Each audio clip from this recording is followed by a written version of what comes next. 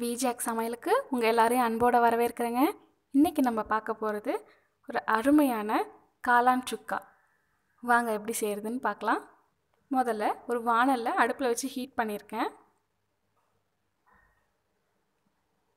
ரெண்டு table spoon அளவுக்கு எண்ணெய் சேர்த்துக்கலாம். எண்ணெய் காஞ்சதும் ஒரு ஸ்பூன் அளவுக்கு சோம்பு சேர்த்துக்கலாம். அப்புறம் ஒரு ஸ்பூன் அளவுக்கு கடலைப்பருப்பு. சோம்பும் கடலைப்பருப்பும் நல்லா பொரிஞ்சிருச்சு. இப்போ நம்ம வெங்காயம் சேர்த்துக்கலாம். ஒரு பெரிய வெங்காயம் கட் பண்ணி வச்சுருக்கேன். அதை சேர்த்துக்கலாம். நல்லா வதக்கி விட்டுக்கலாம். பாருங்கள் வெங்காயம் இந்த அளவுக்கு நல்லா வதங்கிடுச்சு. இப்போது நம்ம காளான் சேர்த்துக்கலாம். இரநூறு கிராம் காளான் எடுத்து சுத்தம் பண்ணிவிட்டு கட் பண்ணி வச்சுருக்கேன். இப்போ நம்ம சேர்த்துக்கலாம். நல்லா கலந்து விட்டுக்கலாம். காளானே தண்ணி விட்டு நல்லா வேகுங்க. அது வரைக்கும் நம்ம வெயிட் பண்ணலாம். ஒரு பத்து நிமிஷம் ஆகட்டும்.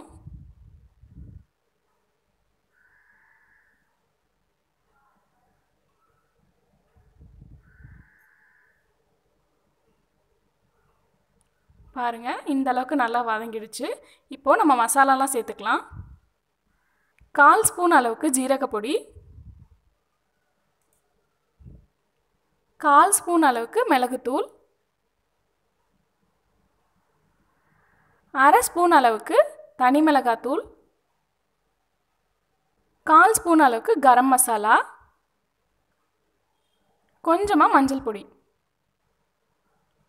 ஒரு ஸ்பூன் அளவுக்கு மல்லித்தூள். எல்லாத்தையும் நல்லா கலந்து விட்டுக்கலாம். மசாலாலாம் சேர்க்கக்குள்ளே லோ ஃப்ளேம்லேயே வச்சுக்கோங்க இல்லைனா கரிஞ்சு போயிடும். ஒரு ஒன் மினிட் இந்த மாதிரி நல்லா வதக்கி விட்டுக்கலாம்.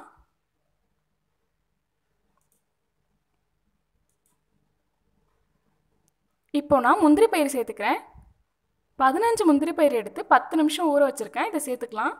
இது ஆப்ஷனல் தான். நீங்கள் தேவைப்பட்டால் சேர்த்துக்கலாம்.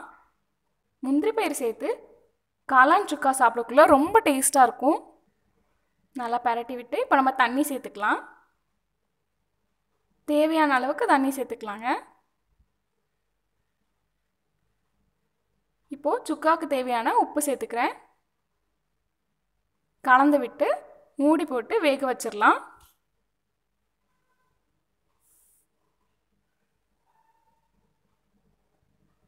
பத்து நிமிஷம் ஆயிடுச்சு ஓப்பன் பண்ணி பார்க்குறேன் இங்கே பாருங்கள் ஓரளவுக்கு தண்ணி சுண்டி காளானும் வெந்துருச்சு. இன்னும் கொஞ்சம் ட்ரை ஆகட்டும். இன்னும் ஒரு அஞ்சு நிமிஷம் போல் ஓப்பன் பண்ணியே வச்சுக்கலாம். பாருங்கள் காளான் சுக்கா சூப்பராக ரெடி ஆகிடுச்சு இது வந்து ரைஸுக்கும் சைட் டிஷ்ஷாக வச்சுக்கலாம். அப்படி இல்லாட்டி சப்பாத்தி கூட சைட் டிஷ்ஷாக வச்சுக்கலாம். ரொம்ப டேஸ்ட்டாக இருக்கும். வெரைட்டி ரைஸ் கூடலாம் சாப்பிடக்குள்ள ரொம்பவே சூப்பராக இருக்குங்க. நீங்களும் உங்கள் வீட்டில் ட்ரை பண்ணி பாருங்கள் ட்ரை பண்ணி பார்த்துட்டு எப்படி இருந்துச்சுன்னு மறக்காமல் கமெண்ட்ஸில் சொல்லுங்கள் உங்களுக்கு இந்த ரெசிபி பிடிச்சிருந்தா இந்த வீடியோவை லைக் பண்ணுங்கள் உங்கள் ஃப்ரெண்ட்ஸ்க்கு ஷேர் பண்ணுங்கள் எங்கள் சேனலை சப்ஸ்கிரைப் பண்ணுங்கள் மறக்காமல் பக்கத்தில் உள்ள பெல் பட்டனை ப்ரெஸ் பண்ணிங்கன்னா நாங்கள் போடுற வீடியோஸ்லாம் உங்களுக்கு நோட்டிஃபிகேஷன்ஸில் வரும். தேங்க்யூ